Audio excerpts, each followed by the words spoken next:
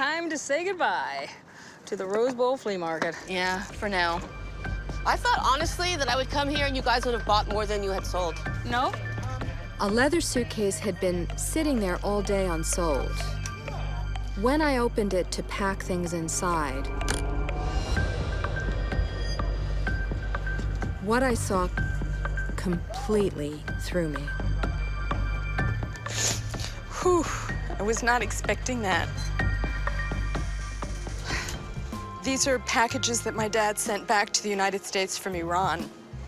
My, my dad imported jewelry when I was a kid, and it's his handwriting. Whew, I was not expecting that. He would buy jewelry on his trips and send them back home while he continued traveling. What on earth? These are all from my dad. Oh, my God. 1961. From Iran. I had no idea he'd stored these packages in this old suitcase. I felt like he was with me, and it just took took over. I got pretty emotional. I'm so glad I didn't sell the suitcase. I know. Well, Oh my God. I mean, it's really ironic because sometimes the greatest treasure can be right in front of you. Yeah, it's dad coming through loud and clear. I couldn't stop thinking about the jewelry pieces that I found in the old suitcase that my dad had sent from Iran 50 years ago. Hello. Sonia! So I made a phone call to my good friend, Sonia Boyajian. Sonia Boyajian is a creative talent that lives in Los Angeles, and she's a jewelry maker. I wanted to show Sonia the packages, Movement. and I knew their Oh contents would inspire her. Oh, my God. Look at all of these. This is amazing. Yeah, I know. All the um, wonderful treasures. This one's got mother of pearl in it. This one's the enamel, hand-painted enamel. And different colors. I mean, they're so That is beautiful. beautiful. Look at, oh, look at that. She has this very close relationship with her dad. I mean, it's why she got started and what she does. He obviously inspired her. Cool, huh? Look at this. Undiscovered treasure.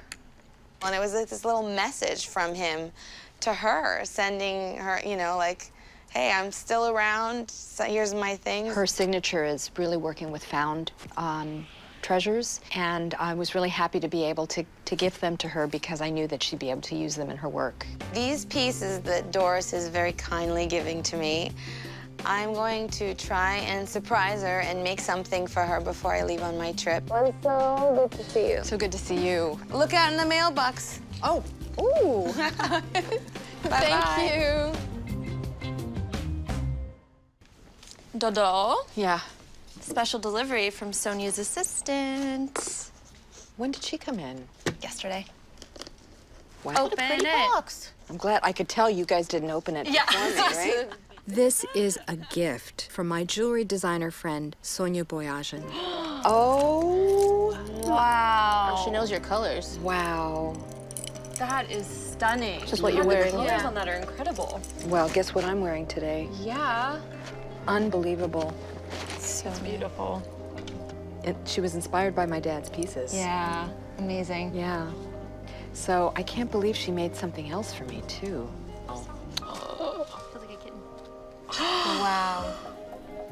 Wow. What was that made from? This is made from my dad's. This is wood, hand-painted, and then these are mother of pearl hand-painted. And she put it on one of her ceramic pieces with these fabulous rhinestone placements. Wow. To kind of like frame everything. So beautiful. So beautiful. I love these, you know. I can wear them and think of my dad, which is great. You know, when I look at these pieces, for me, it's it really kind of encapsulates the whole reason why I got into this business, which is to take beautiful things from the past and to either um, repurpose them, like i in this case, um, or resurrect them by, you know, cleaning them and fixing them. Perfect. I can wear this today. Yeah. Hey.